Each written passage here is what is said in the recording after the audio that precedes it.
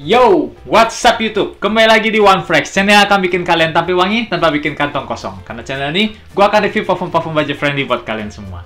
Guys, thanks banget buat kalian udah like, subscribe, dan terus dukung channel gue guys. Buat yang belum, saya akan klik like, subscribe, dan terus dukung channel gue guys. Jadi gue lebih semangat lagi buat review parfum-parfum budget friendly buat kalian semua. Oke guys, kesempatan kali ini, gue mau review satu parfum yang lagi hype. Ya, hype. Ini adalah Siaka Silver dari House of Katzelats. Oke, okay, lagi hype di Indo nih guys. Sebenarnya gue udah dapat ini udah lama sebenarnya ya. Cuman gue lupa banyak parfum yang gue belum buka-bukain belum tes. Oke okay, guys, jadi kayak apa wanginya, gimana SPL-nya, check it out guys.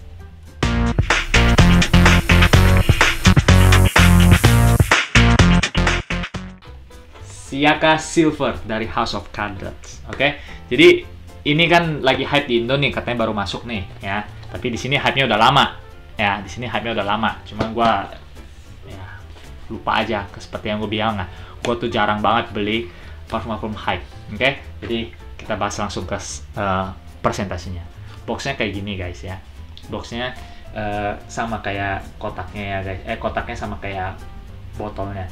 Silver ya. Dia ada ada yang silver, ada yang blue, ada yang red kalau nggak salah eh gold gold. Jadi ini yang silvernya yang paling hype ya guys ya. Dengan balutan hitam. Di atasnya ada tulisan Katzelach oke okay. depannya ada tulisan Siaka ya. Silver Katzelach konsentratnya EDP gedenya 100 ml konsentrat EDP gedenya 100 ml samping-sampingnya kosong aja ya guys ya.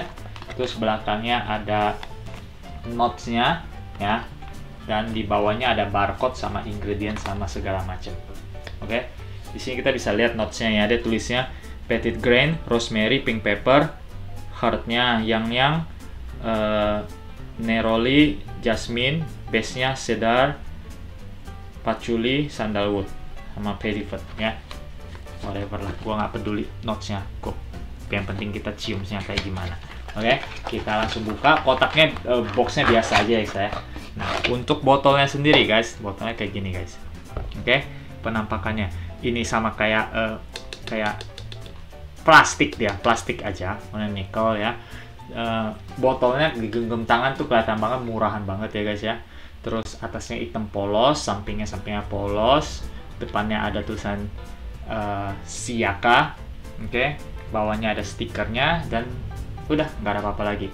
Botolnya sendiri enteng banget ya dan semuanya tuh plastik kelihatan banget murahannya ya. Kalau kalian ketok-ketok gini kalian bisa ngerasa ininya plastiknya goyang-goyang guys. Oke? Okay? jadi gimana dengan scent profilnya jadi ini gue udah tes beberapa kali guys ya. Karena hype gue coba terus gue coba terus dan ini udah sekitar seminggu dua minggu kemudian gue tes. Udah banyak banyak sekali gue tes ya. Bisa lihat.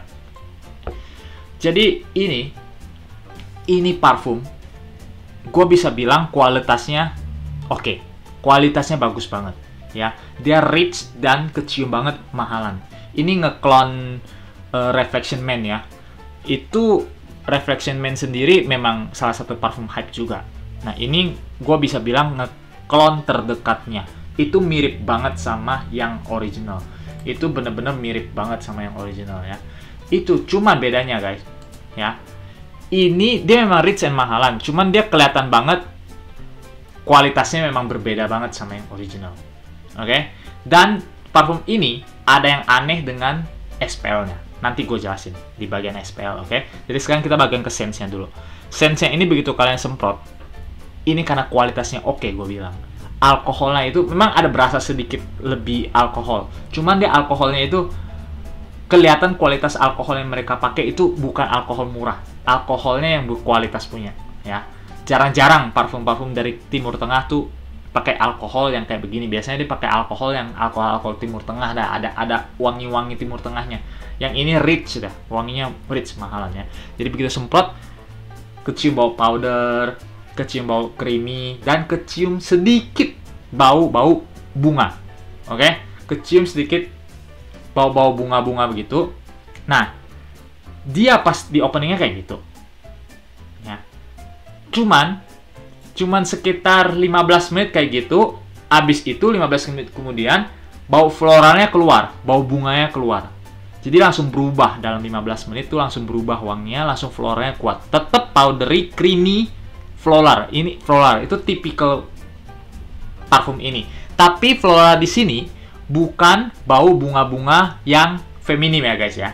Dia tetap tetap bunga-bunga yang unisex lah, tetap bunga-bunga yang oke okay banget dipakai buat cowok. Oke? Okay?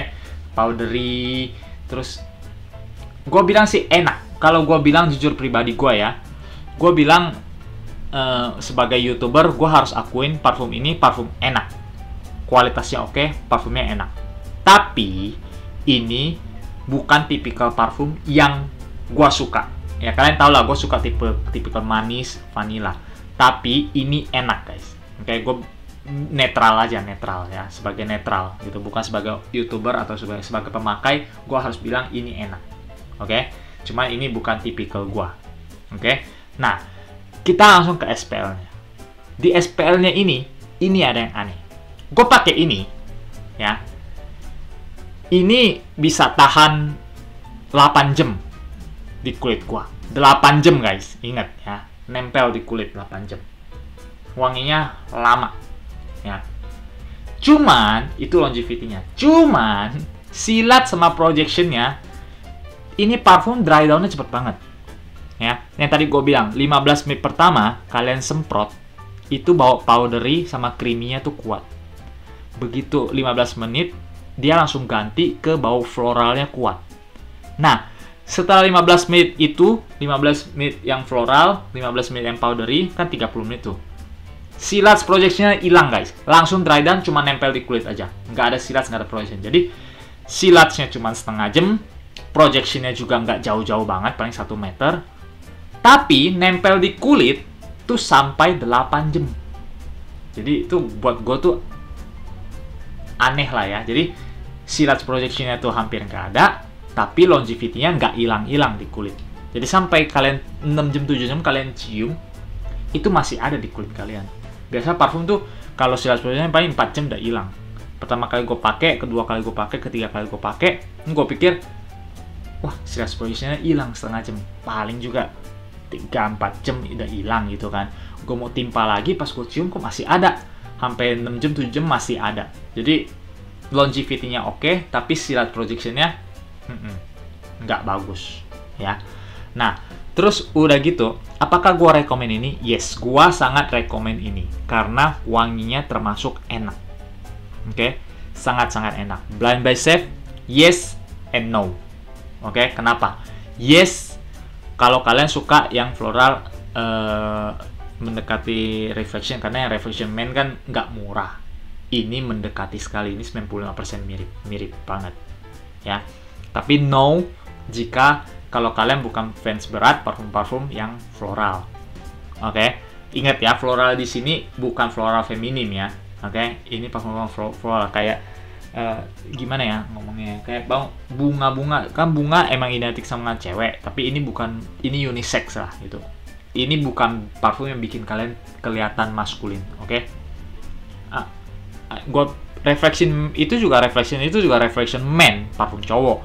Jadi ya ya dan tidak untuk untuk uh, ininya apa blind by safe ya kalian mending cium dulu yang original oke okay? kalau kalian tanya gua overall rating Gua kasih nilai ini 8 dari 10. Oke, okay? meskipun silat positional loyo, tapi longevity-nya oke okay, dan wanginya sebagai pemakai netral ya, sebagai YouTube youtuber yang gue bilang gue jujur apa adanya netral, gue bisa bilang ini wanginya enak, kelihatan mahalan, kualitasnya oke. Okay. Oke, okay? jadi segitu aja yang bisa gue bahas tentang ini. Oke, okay? jadi mau beli atau enggak, itu kembali lagi ke kalian masing-masing. Oke okay, guys, thanks banget udah ke channel gua jangan lupa klik like subscribe dan share channel gua guys see ya in the next video guys ciao